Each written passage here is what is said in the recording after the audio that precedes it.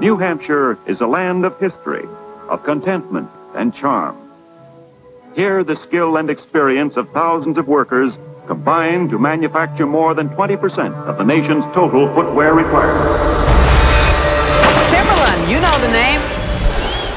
Timberland was a construction worker boot. The Timbs validated you. They certified you. I'm telling you, we had no idea. Show me the boot. Holy shit, this stuff is really working. The brand was growing. That's when I realized style had power. Old Sidney Swartz got it right, mate. You know what I mean? He did. Timberland is for us. It's just one of those brands that's part of my DNA. We have warnings of more snow or rain on the way. It didn't matter the weather when it came to being fly and fashion. When you put these on, you just feel like nobody can fuck with you on planet Earth. Yo, this is normal. This is what we do. But is hip hop an image the company is shying away from? We have respect for every consumer. Timberland. Shoes Timberland. L'Italia forse credeva nel sogno americano più che gli americani. He just turned into like a Timberland monster. Tim's overpowered sneakers for him. Timberlands was taking the hood by storm. They were big in New York City. When you come from nothing and you're trying to make something, you're using whatever you got. It's been about honest craftspeople taking their hands and transforming them magically. I want to say, who is Timberland? Who is that? Who is the man? Who the woman? Who, like, what family? Is it a family? Where they at? Where they live at? Where they from? New Hampshire?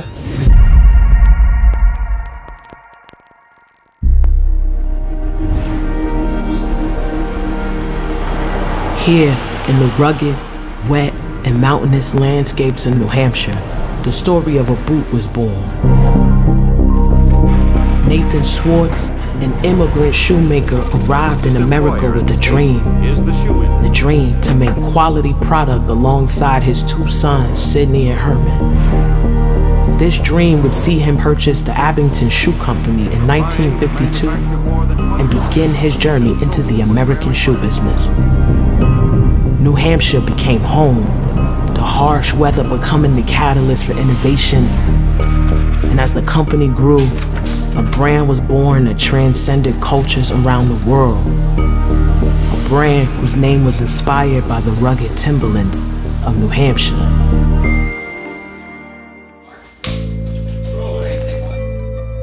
I joined Timberland in uh, July of 1974.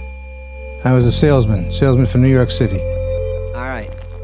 Ready to go? Sidney was a character. He was a real character. Hello. Show me the boot. He used to say, sell more shit. This boot should never be sold from the outside in. It should always be sold from the inside out. Because that's where you can see the value. That's where you can see the integrity. You want me to keep going? he knew everybody's name, knew their families. This is leather. Working with him and for him was a riot because he was just fun to work with. He always made you laugh. You got me started on leather, so now I'm giving you a leather course. He was a great factory guy. People here knew each other, and there were families actually working here. Oh, yeah. So you had to be careful because if you said something to somebody, you might be talking to their brother or their sister. You, you didn't know. Uh, it was a very exciting time and place, and we actually did become sort of a large family. You couldn't make cheap product. You couldn't make flimsy boots. You had to make it like the mill, you had to make it like the people, you had to make it like the place. And a lot of what we do springs from the mill and from the people who are here. Sidney was the happiest when he was able to bring his children into the business. That meant the world to him. I am not interested in uh, the Timberland Corporation. I am interested in the Timberland family. And I'm talking very personal about my family. Timberland without family, I don't think would work for me. The family's love for innovation and technology will go on to change the future of footwear forever. In 1973, they introduced the first waterproof leather boot by utilizing the method of injection molding. This fused rubber lug outsoles to waterproof leather uppers, virtually eliminating holes in the boot's construction, meaning no more leaking. The iconic 161 was born, or as you may know it, the yellow boot. This one yellow boot was the door that opened up for me the opportunity to become a branded company. We couldn't afford a big testing laboratory.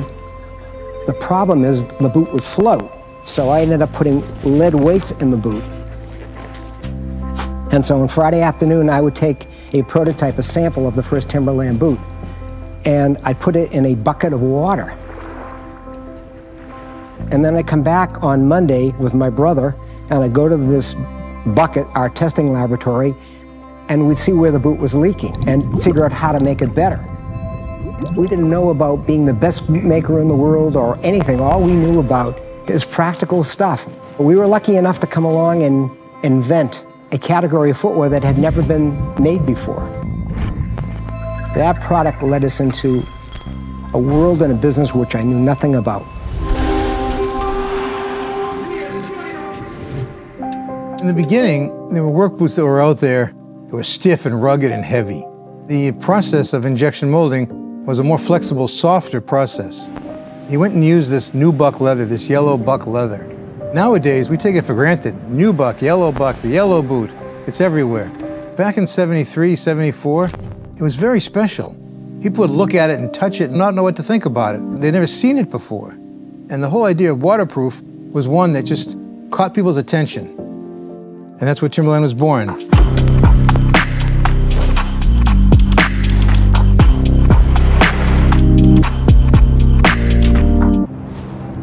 As the Timberland brand expanded, its reputation grew beyond the rugged mountains of New Hampshire to the cold city streets of New York. While blue collar workers on construction sites were immediately drawn to the boot, they weren't the only ones who began to take notice. In the early days of Timberland, 73, 74, you'd walk in, you have to explain who Timberland was. One day, I went into a store and I started to go through my spiel. I'm from Timberland, we're a rugged outdoor fashion. I know who you are. I'm like, holy shit, this stuff is really working. And the brand was growing. By 1979, Timberland sales reached $16 million. Last year, they came to more than $84 million. People were looking at us and saying, how's this brand growing so fast? Well, one thing is we're spending a lot of money on advertising. Timberland waterproof boot, just $59.88. Also, we had a lot of kids in the brand. They would buy these boots, and they loved the boots. The more you have it, the more you wear it, the more you like it. It's like an old friend. Ten years ago, I started wearing Timberland. They keep your feet warm and dry? Very warm, very dry. Had them in college. And in college, we used to sketch. We used to hang behind the trucks and ride downtown in our Timberland boots. What kind of boots are those things anyway? 12281, 8 inch wheat nubuck. Oh, the ones I've got on? Yeah. Sorry, I was talking about my other boots. I have too many pairs. So obviously, it made a real emotional connection with people.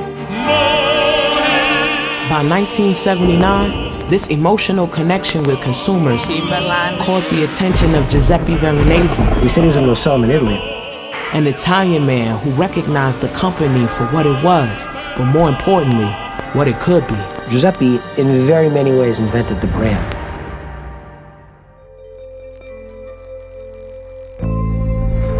Before we knew what our brand was, our brand had a personality and a point of view that was authentic from place.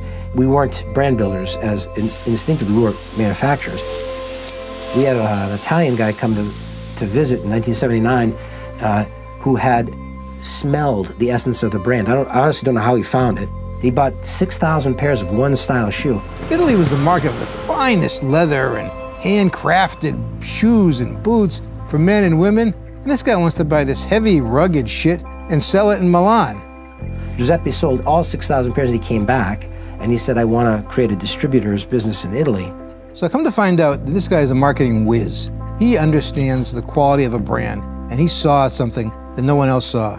Giuseppe took black and white photos of the boots, took the laces out, covered them with mud, hung them from a clothesline, and ran an ad in Italian that said, If you love me, treat me like dirt.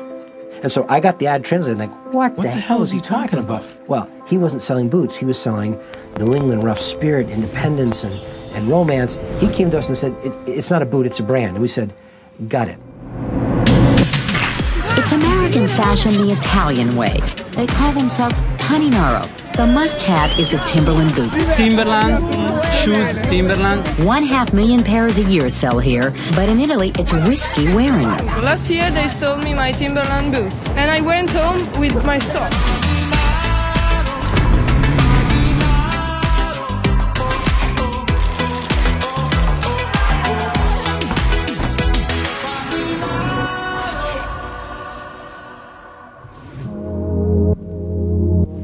Queste scarpe rappresentano ovviamente per il paninaro un, un oggetto di culto, è, un, eh, è, parte culturale entrata in ognuno di noi, è, è come se fossimo intrappolati in uno spazio temporale dal quale è difficile uscirne. Ci sono state altre culture dopo la nostra, ma la nostra è rimasta, cioè, tra virgolette, inimitabile e, e quindi ce la teniamo stretta.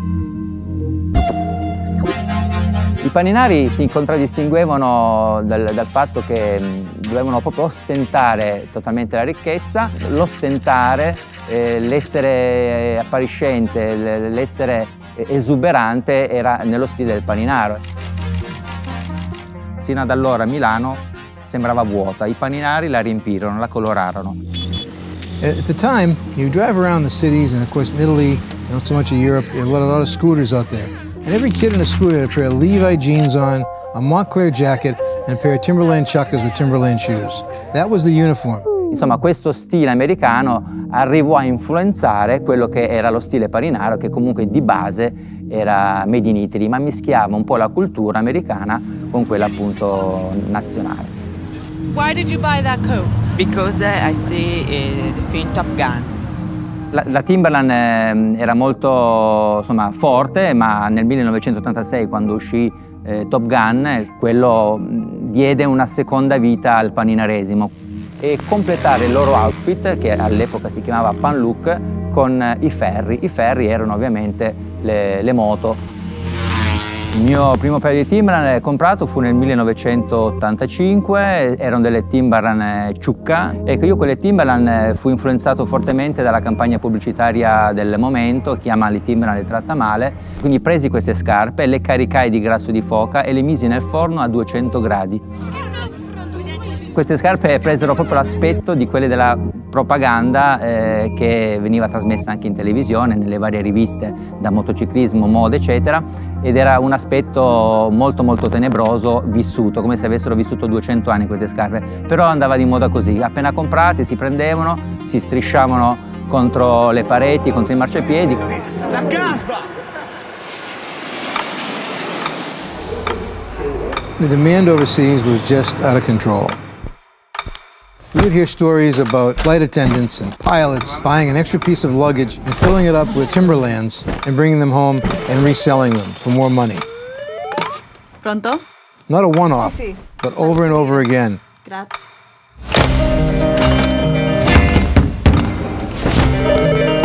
Pronto? Grazie.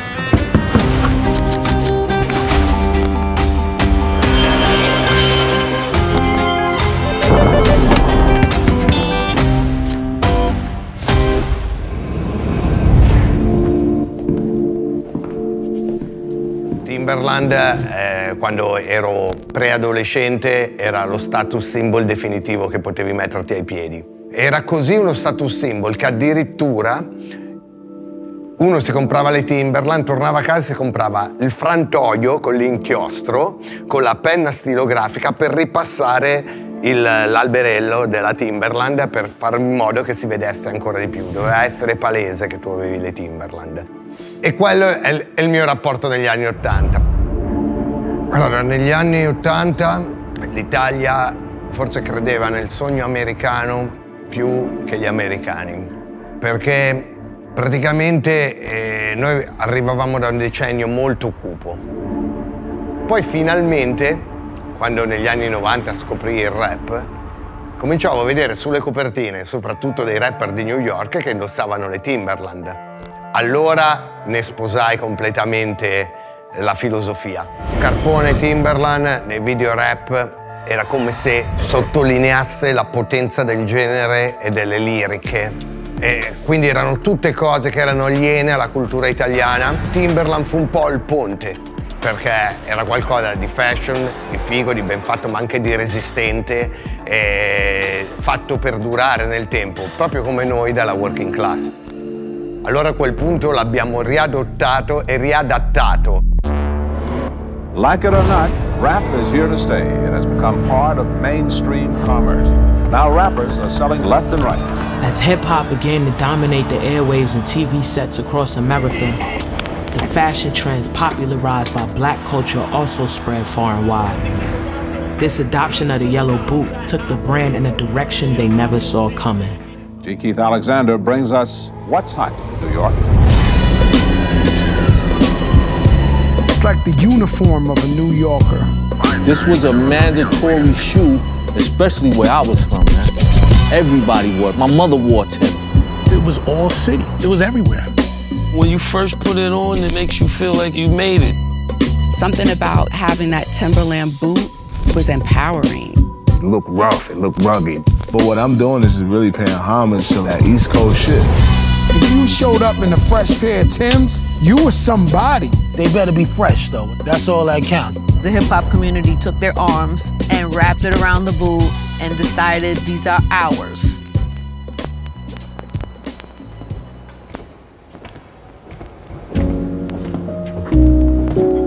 Got Timberlands I work in. I got Timberlands I wash cars in. I got Timberlands I clean the basement with. I got Timberlands I do yard work in. When you come to my house, you'll, you'll see at least three pair of Tims at the front door, all beat up. You know what I mean? I don't even bring them inside no more. Man, I, you know, some, something about Timberland, man, I, I just feel like that's what I'm supposed to be wearing, man. You know, rock Rakim and Timberland, man. Go hand in hand. Timberland wasn't hip hop when it came out, but we made it hip hop. People look at them, they're like, yo, those was, those was work boots, bro. But we just knew it looked right. It was people being original, people being innovative and, you know, expressing themselves. Some people wasn't stringing them up, some people wasn't putting strings in them. It, it started to change your mindset on what fly is, what the thing is. And we started to realize we control that. I control that. You control that. You know, once I realized what was up, man, you know, the Timberlands was taking the hood by storm. They was big in New York City. The Timberlands was on fire.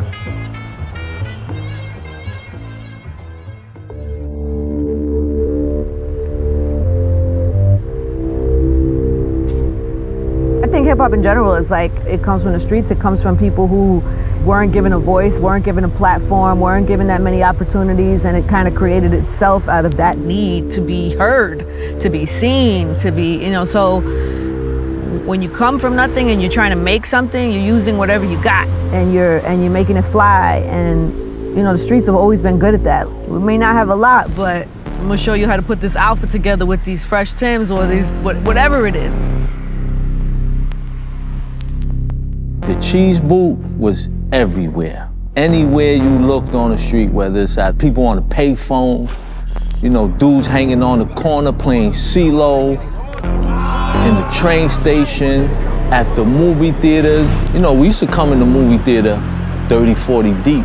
And when we were in there, you heard 30 or 40 boots going up the steps at one time. So you heard like soldiers marching.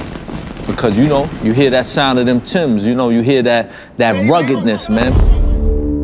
Rough like Timberland wear. Yeah, me and the clan and yo, the Land Cruisers out there. Peace to all the crooks and all the killers with bad looks. Bullhead braids and blows his hook. Rough like Timberland wear. Yeah, me and the clan and yo, the Land Cruisers out there. This is one of my rhymes that we did, you know, in the 36 Chambers. Just saying that line right there, I just felt like it represented our lifestyle, rough and rugged. And when we hit that stage, yeah, 85% of us is is Timberland up, just letting the world know, here we come. Here come this this new group of hardcore cats that they look exactly what they speak and what they talking about. You could tell it's real.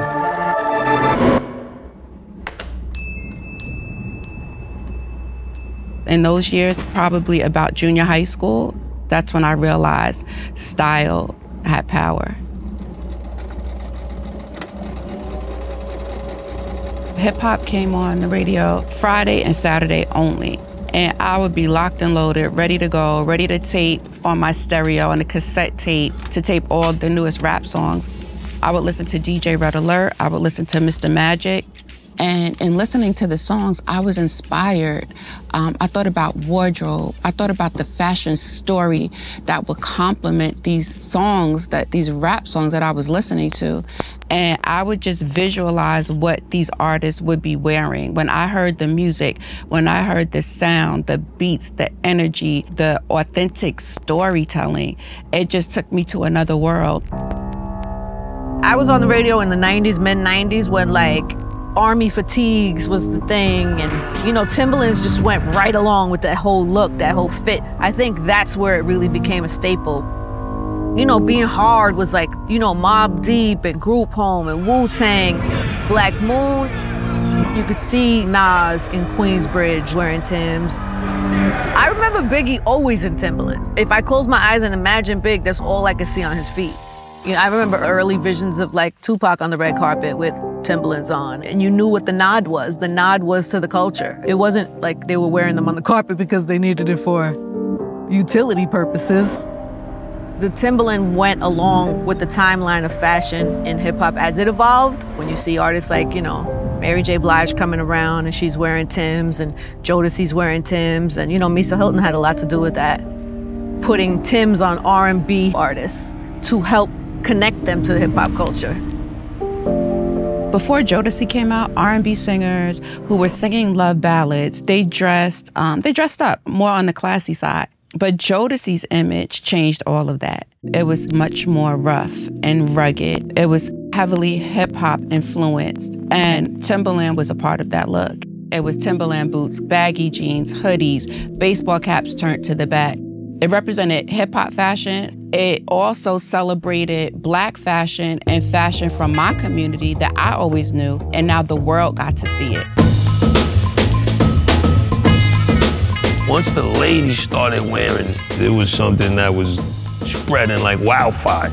A lot of queens of hip hop was rocking the Timbs, man. You know, Salt-N-Pepa, MC Lyte. I think about MC Lyte and 40 Belows. Because you know, the girls had the little feet though, so the, the littler the foot is, the, the doper they were. Spandex, Timbs, denim jeans, Timbs. If a woman just pull up out of a truck and she got constructions on. Sweatsuits, Timbs. What? Oh my God. It was like love at first sight watching them rock them.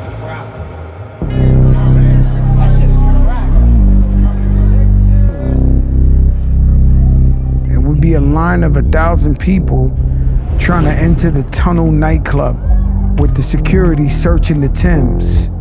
And so you gotta take your Timbs off to make sure you ain't got no weed, you ain't got no knives in there. And being Big Pun, we're about to get beat up by like 10 security because Pun ain't wanna take his Timbs off. He was a big guy, you know, 600 pounds. So we arguing with the security and then out of nowhere, we hear this strange voice and it's like, yo, Joe, yo, Pun, let's beat these guys up. And we turn around, it's Iron Mike Tyson. It's like a dream come true. If, if, if, you could just freeze time and be like, yo, God, and God would be like, you got one guy, who do you want? It was Iron Mike Tyson. Iron Mike Tyson, a professional fighter. And it was all about we wouldn't take off our Tims. It was crazy. Well, you getting that talk from Fat Joe, legendary shit, soundbite mania. Good evening. No sooner has the Northeast begun digging out of the big blizzard than we have warnings of more snow or rain on the way. It didn't matter the weather when it came to being fly and fashion. Some people across the states don't get us rocking Timberlands in the summertime. Yo, this is normal. This is what we do. Tennis skirts, shorts, jean shorts.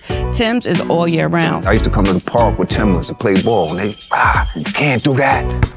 Yes, I can. You know what I mean? You had all black on and we had Timbs on the beach. They wear them anywhere, pool party. It looked like you literally just dropped us from another planet.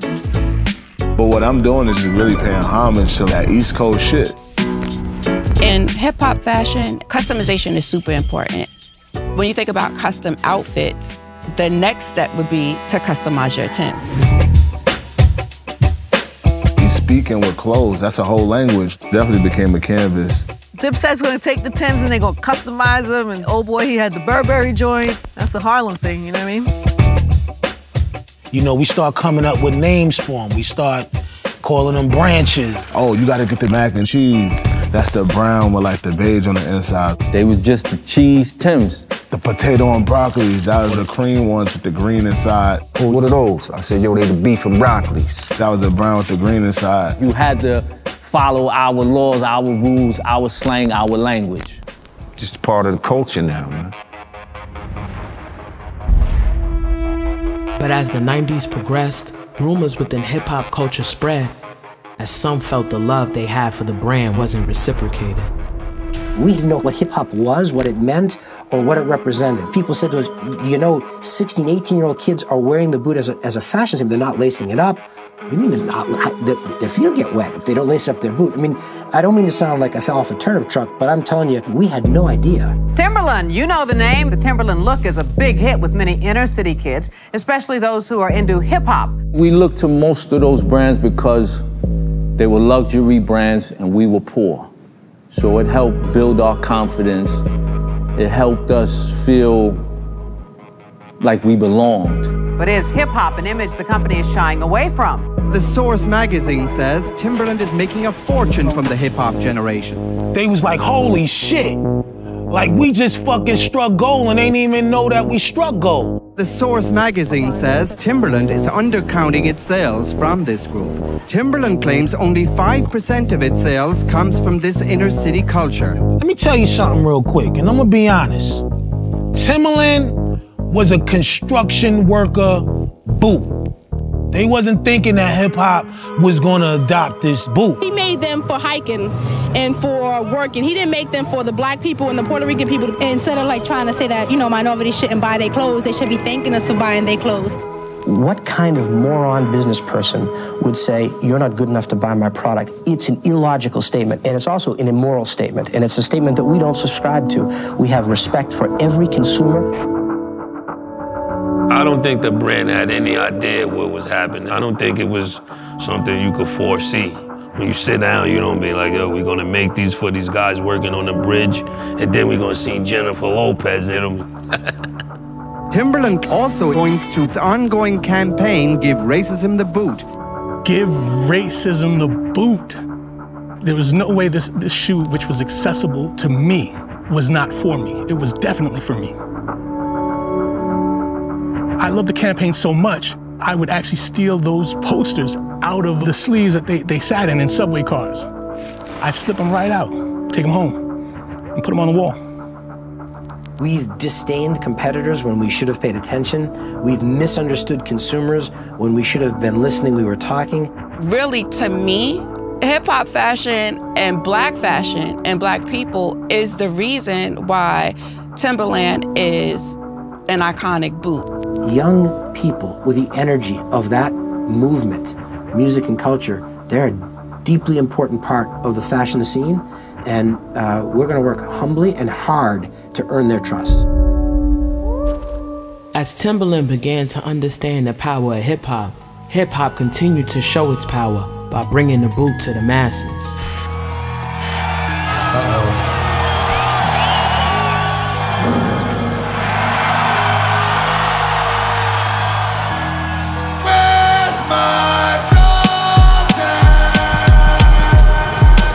Dog DMX, he just fell in love with any six inch, any design, any color, any texture, any, it didn't matter. He just turned into like a Timberland monster. Tim's overpowered sneakers for him. He didn't like sneakers no more. You know what I mean? It was crazy. Yo, he was so swaggy. Just the way he wore it and all of that, it spoke to me. This Timberland is for us. His style was different than anybody ever. When he got the overalls half strapped on with the blood burgundy boots and all of them people. It was Woodstock, so it was like he was at a, a festival. It was a crowd full of white people. But I thought it was dope how he was unapologetic about his expression. Like he was like the hood superhero. Like we wear the dog collar, choker. He was a super rock star with Tim's on. A dog is a dog.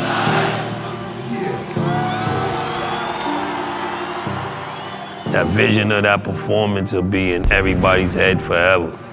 Priceless, timeless, untouchable. And see what he's rocking. I thank you, Lord, for a dream that came true to life. And I ask you to bless everybody that's right here tonight. I know for a fact they wasn't expecting kids and people of all color to just pick this as their number one boot. I guess that probably made them be like, yo, you know what? We gotta start taking this fashion thing to the next level with this brand. And I think that that's what happened. We saw Timberland as the greatest bootmaker. I think it was the brand that brought people together. You know, from the construction workers to the hip hop artists and everything in between, they were all coming in, you know, hunting for these boots. I first started working at David Z in 1995. I started working in the stockroom. At the time I was 13. What you see today with athletic footwear being the craze, back then uh, it was all about boots. 8th Street was the epicenter of culture. People were coming from all over the place. They could probably get one or two styles of boots by, by where they lived, but the idea was to come somewhere where there was the widest selection to pick from. David Z's a legendary store. But that was like prestigious going down there. You know, David Z's was like, oh man, we in Soho. You know, we Bronx guys. Bronx guys don't leave the corner. It was like a block party on Saturday and Sunday. All of the artists would come to the block. The kind of people that were shopping the store, like you wouldn't believe the names. We love clothes. We love shopping. We used to go boost. For us, fashion was excelling to a degree. Once you get money, you know the first thing you do, yo, I'm going shopping. I was so young at the time and everyone was so cool to me. It, they made me love their music and their art even more. Jay-Z used to come by almost every week and buy two fresh pairs of construction Tims and leave his old pair there. Those are the memories that really shaped, you know, my obsession and passion for the brand. The year's 2005, and I have a shop in the Lower East Side. We released a sneaker, and that sneaker caused quite a bit of a ruckus and a sensation. There was like a camp out, a riot, people got arrested. We had just come back to the store recovering from this riot that had occurred. These two guys walk in, they had like button down gingham shirts that were tucked in. They look like feds. I was like, great, there's like more drama. So I come out and they were like, uh, we're from Timberland. We would like a riot too. It's amazing. That's how we met. That's how my relationship with Timberland began. I'm a creator and a designer that thinks it's function first, form second. And this is why I love footwear in general, is how switching up your footwear can change your whole mood. So if you put these on, you just feel like nobody can fuck with you on planet Earth. In 1998, before any collaborations on footwear, David had the idea of adding a gray boot to the offering. Word of mouth traveled so quickly that people were driving up from Virginia, from North Carolina, from Florida, uh, because that was the only way to get the boot. It was the first time from like the early 90s to 98 that we're so used to seeing the same three, four colors of the construction boot, and they're all browns and blacks, to see this gray boot, it was like the most disruptive moment of the time. Changed the landscape of, I think, all brands. And it also showed Timberland what they could do outside of what they were doing. So I think that really changed the game.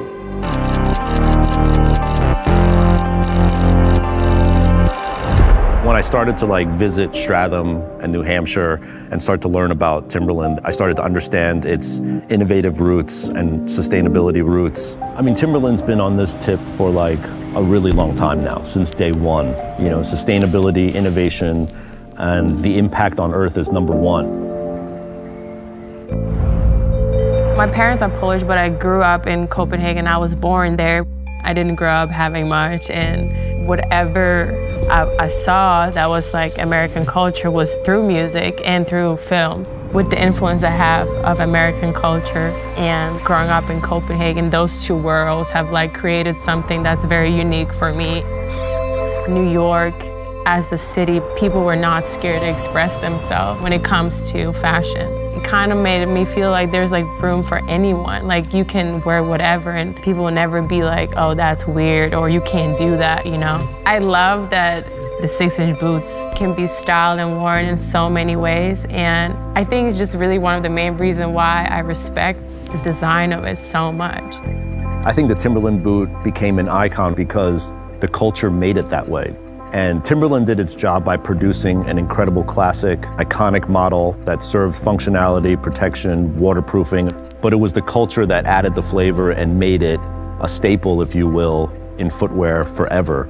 I was like, if I'm gonna do a collaboration with any company, I was like, it has to be Timberland. I always really loved patent leather. And when my initial thought was like, man, we're gonna keep it simple and clean and timeless. And we just made it like a weed patent leather. It got its own name as glazed donuts. Like that's how people like talk about them. Oh, you got the glazed donuts, or, you know. Just that itself makes me feel like I've done something, you know. So shout out to whoever designed this booth. Not many people know this, but my first collaborative project was actually on a Timberland boot. It's just one of those brands that's part of my DNA. It's part of the last 28 years of my 40 years of my existence on this earth. You know, I'll be a fan of the brand for the rest of my life. As the yellow boot story became ingrained in American culture, history was simultaneously being written in various corners of the globe.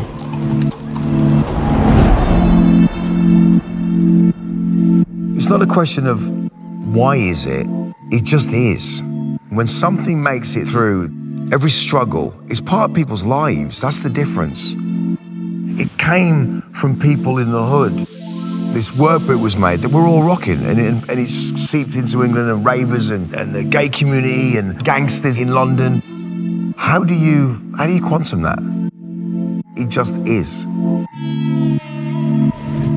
I mean, I came from the Midlands, which is the middle of England, which is the middle of nowhere. And of course, for me, subway art, graffiti, that's, the, that's our Bible, if you like, as, as one book that we opened and, and showed us the world. The, the, experience of going to New York at 17 and a half was mind blowing. As soon as you got on a train, you just saw style. From Timberlands to, to leathers to people just wearing stuff that you were like, the way it would hang on you and the way it would look. You just wanted it. You wanted to be a part of it. I always felt like I was living in another world. I'd seen something I was never going to let go of. And seeing Timberlands London was kind of like, it's coming, it's coming. Just exploded globally everywhere. It was a really weird time seeing how it had just got into different parts. It wasn't, it was no longer just hip hop's baby anymore. It was everything for everyone. 86, 87, 88, really important years. And I think rave culture was the next in line of the heritage of ravers that have kind of gone into wearing Timberlands and wearing, you know, bright coloured t-shirts and just not giving a fuck. And there's guys on speakers, you know, in the field with, with Tim's on. You know, as long as my feet warm, I don't give a fuck. Every week there was a rave. Everywhere you turned, it was the sound coming out of the UK. And we had, we'd taken American breakbeat culture. We took those breaks, we sped them up a little bit, and we're at it. And the thing about rave culture, rave culture brought every type of person together. People would drive for miles just to go to a place. There's no internet, guys. It's a phone number. You get given it, and you're going to know where you're going to go to a rave. And you would drive for three, four hours. We were telling you about giant outdoor raves happening across the region almost every weekend. Party organizers accuse the police of using new legislation to try to stamp out the craze altogether. We were fighting against the government. They were trying to close parties everywhere. It was a real infringement of what freedom really is. Officers will also pose as partygoers to get the details they need. So, you got any raves on this weekend? And I think that was where the, the politicians stopped listening to what we were about. And they didn't want us to be together. They didn't want us to have our free, they didn't want us to speak. They didn't want us to speak. There wasn't an inch of violence. There wasn't no trouble.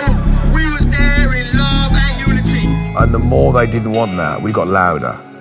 And we let the music speak. And trust me, we can make music speak and make it loud.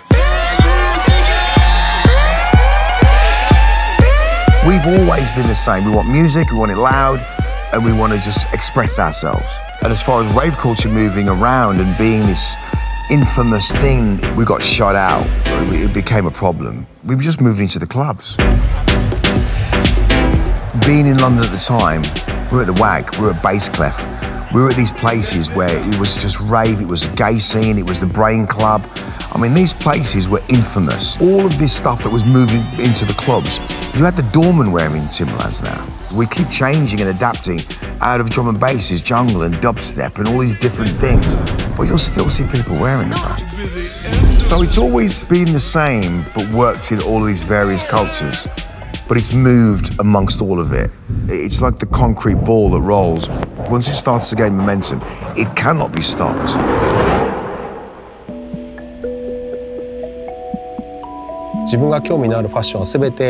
アメリカのファッションをベースにしたものだったと思います。とても自由で、えー、その裏側に、えー、音楽だったりとかスケートだったりとかこういろんな新しいカルチャーを感じるような、えー、ただのファッションではなくて裏側に文化を感じるようなものでした。東京は日本の中でいろんな人が集まってくる一番大きな都市なのでそこにいろんなスタイルがある中でそのスタイルの中に埋もれない自分のスタイルを作るっていう意味でも東京で育ったことはすごく大きかったなと思いますヒップホップはそれまでの日本人は自己表現をするっていうのがアメリカの人たちから比べるとそんなに得意じゃないと思うんですが、えー、ラップシティとかを、えー、VHS に録画したものをみんなでこう回して見ていました。clearly, the reason the show is now on in Japan is that there's been a, a great interest, uh, uh, particularly on the part of Japanese youth, in hip hop culture. Hip hop for young people around the world has served as, as a tool and vehicle for people to express themselves, and, and particularly in Japan, um, it's a suppressed society for, for those who are individuals. 映像作品が日本人はこう 英語を基本的には理解できる人がとても少ないので、えー、ヒップホップを理解する時に、えー、ラップっていうよりも一番最初にビジュアルから理解することが多くてそれで映像作品を見て例えばさっき話した VHS を一時停止してこれはティンバーランドを履いているみたいな。ブートキャンプクリック。すごく好きであファッションやまあ、音楽全てがすごく好きだったんですがスミフン・ウェッスンの「レコナイズ」っていうビデオの中でテックが履いているティンバーランドのソウルパターンがもう強烈に頭に残っていて高校に通う時も学校の制服にティンバーランドのブーツを履いてヘッドホンでモブディープを聴きながら歩いていると。なんかまあ東京なんですけどそこがニューヨークになったような気がするというか。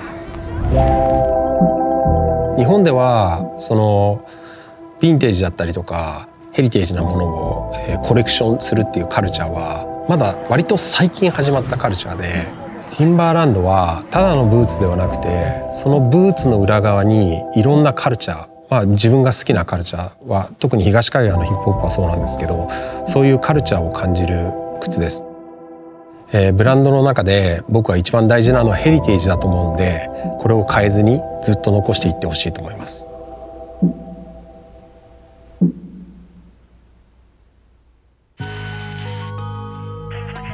Over the past 50 years, a single boot has connected a family of like minded people across the world.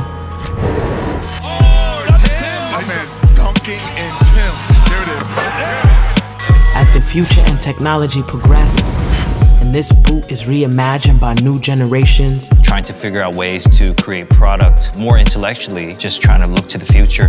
It's this family that will continue to take the story places unexplored. This is not a boot.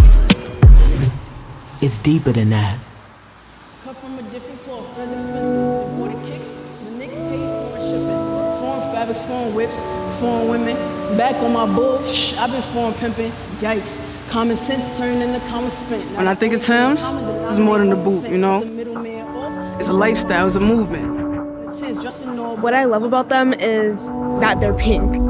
I love to dance in them I'm a professional CDL truck driver. I alternate between a 26 foot box truck and a 53 foot flatbed. Even though I'm on the truck, I still gotta look fly, man. I had a lot of fun there.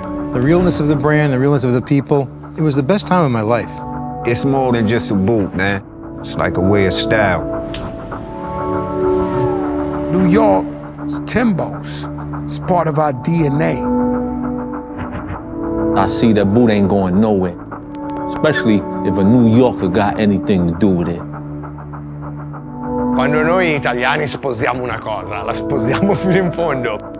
Timberland and proud. From the hoodie to the Thames, kick the door back.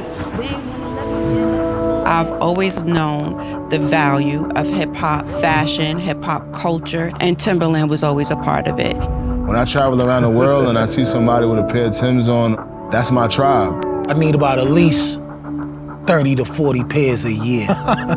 you know? Over everything else, look after your mom, right? First, and look after your feet. That's it. That's it. Timberland's life. That's what we grew up wearing. We had the beef and broccoli and the mac and cheese. We had them all. When you have something that's classic, it will stay forever. I know my friends call me shy, like I'm straight out of Chicago, but it's Harlem World to the grave, that's all I know. Peace.